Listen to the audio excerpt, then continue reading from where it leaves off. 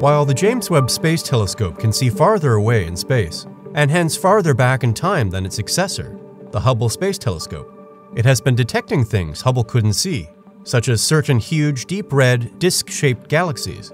Astronomers refer to them as HST dark galaxies. A team of scientists refers to these galaxies as ultra red flattened objects, or UFOs, in a paper uploaded on arXiv on August 2, 2022, but not yet peer reviewed.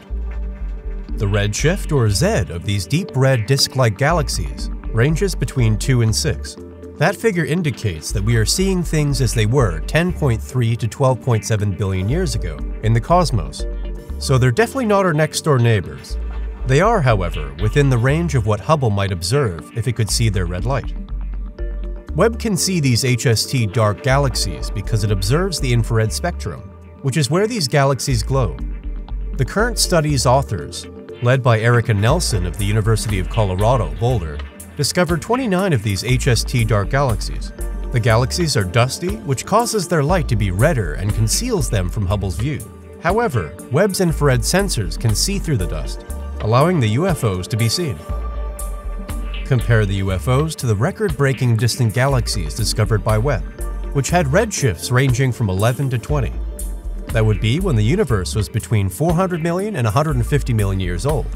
The UFOs, with a redshift of 2 to 6, existed when the universe was between 3.5 and 1 billion years old, out of its current age of 13.7 billion years. So, while these galaxies aren't very close to us in terms of time, they are nonetheless closer than the record-breaking findings. Astronomers refer to the era when UFOs were active as cosmic noon.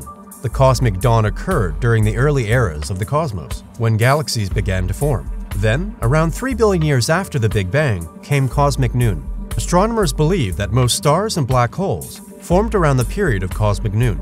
Astronomers currently believe that these UFOs, or dusty star-forming galaxies undergoing intense starbursts, dominate the universe's overall star formation rate budget at cosmic noon. So as the report stated, because we have yet to investigate what we cannot see.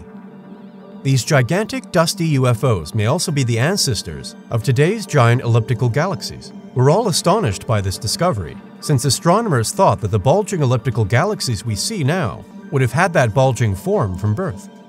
Isn't that amazing? And as always, if you want to learn more about the James Webb Space Telescope and stay up to date, like, subscribe, check our previous videos, and visit our website if you love reading at www.nasaspacenews.com. Thanks for watching.